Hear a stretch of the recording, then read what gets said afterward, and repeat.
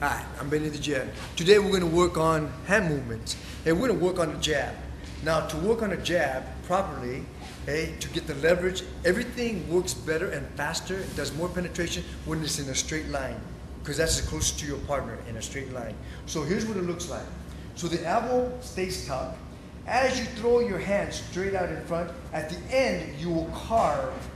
So the shoulder is the hammer and your hands what we call the chisel. And you always keep your elbows slight bend and back again. So we try it again.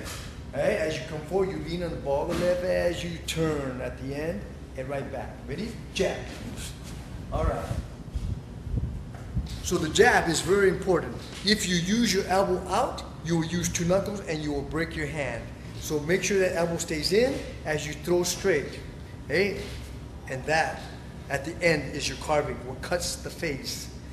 That is your jab. I will see you to the next lesson.